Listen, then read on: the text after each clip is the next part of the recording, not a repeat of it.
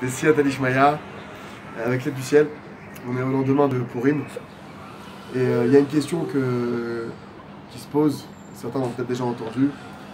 Vous savez qu'à Purim, on nous demande d'arriver à un niveau de conscience où on est capable de dire béni soit Aman, donc de remercier pour euh, le mal, parce qu'on prend conscience d'un coup que finalement pour le bien, etc.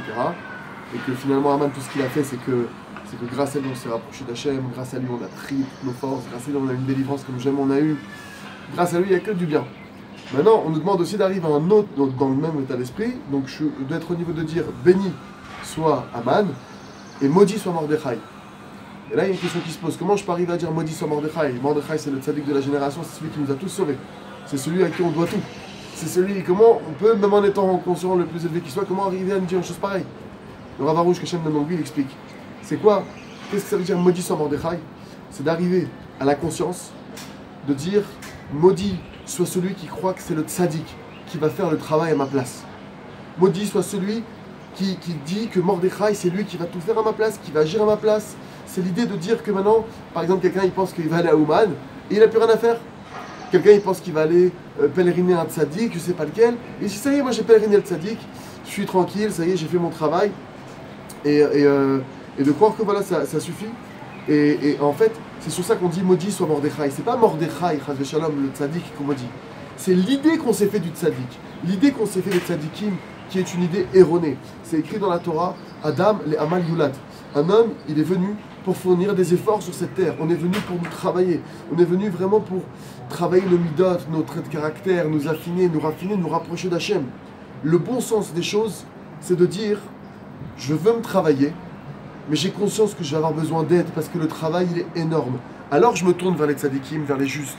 Je vais pèleriner, je vais pèleriner tous les tzadikim dans le monde entier, de partout. Je vais demander de l'aide, je vais prendre des brachot, des bénédictions, parce que je veux me travailler et je sais que j'ai besoin de l'aide du ciel et qu'Hachem nous a mis sur terre des, des coups de pouce des aides, des soutiens, des lumières qui sont notre tzadikim, qui sont les kivret tzadikim, qui est la Torah, l'étude de la Torah. C'est-à-dire que là maintenant, moi je vais me travailler et donc je vais étudier la Torah pour ça, je vais prier pour ça, je vais demander des brachot aux tzadikim vivants de ma génération pour ça, je vais aller sur les tombes de tous les tzadikim pour ça. Ça, c'est le bon sens. D'accord? Maintenant, il faut savoir que Rabbi Nachman de Breslev, il nous dit on doit d'abord être tzadik et après on doit être lamdan. D'accord? Après, on doit être quelqu'un qui sait bien étudier. C'est-à-dire que la priorité, c'est d'abord de chercher quelqu'un de droit, de juste, d'authentique. Et après, évidemment, on doit tous étudier. Mais maintenant, où est-ce qu'il faut mettre l'accent d'être sadique? Maintenant, mes amis, il faut savoir que c'est sûr que sans les tzadikim, on ne peut pas réussir à avancer. Sans l'étude de la Torah, on ne peut pas réussir à avancer. Mais la volonté de base qui doit tous nous animer, c'est une volonté de dire je veux travailler. Je veux faire le travail. Et c'est sur ça, encore une fois, qu'on dit maudit soit Mordechai. C'est pas sur les tzadikim. C'est maudit soit celui qui croit que le tzadik ou que, euh, qui croit que la Torah c'est un truc, euh, c'est rempli de, de, zgoulot, il a fait une zgoula et c'est fini, il n'a plus rien à faire. Non, je fais une zgoula.